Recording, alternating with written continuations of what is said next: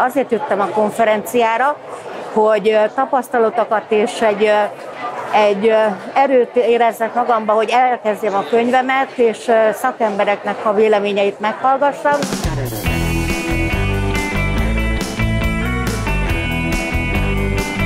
Mindidáig nagyon elégedett vagyok, az összes előadó maximális élményt és, és inspirációt adott nekem.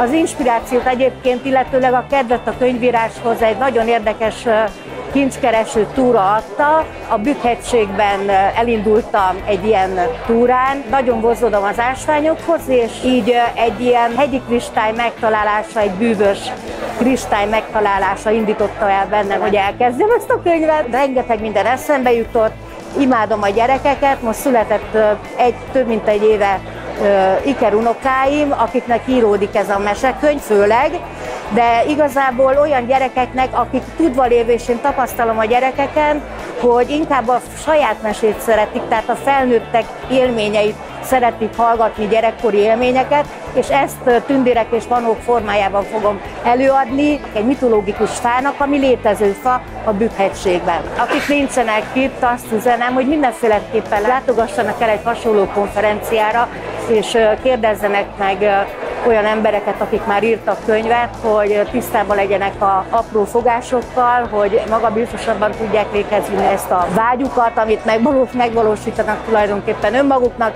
és mindenki örömére.